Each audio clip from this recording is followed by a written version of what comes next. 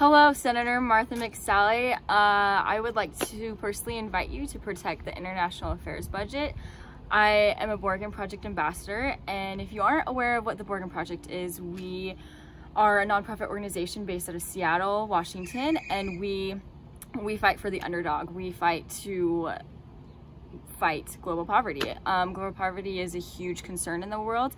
I'm sure you're aware of that, and the international affairs budget affects poverty directly. And so we would really like you to protect this budget because it'll help thousands of people in the world. And President Trump has called for a 22% decrease in funding for next year, I'm sure you're aware of. And this will just dramatically increase poverty in the world. So we would just like you to protect the budget as we believe that this is super important for helping the world because we all do better when we do better ourselves. Thank you.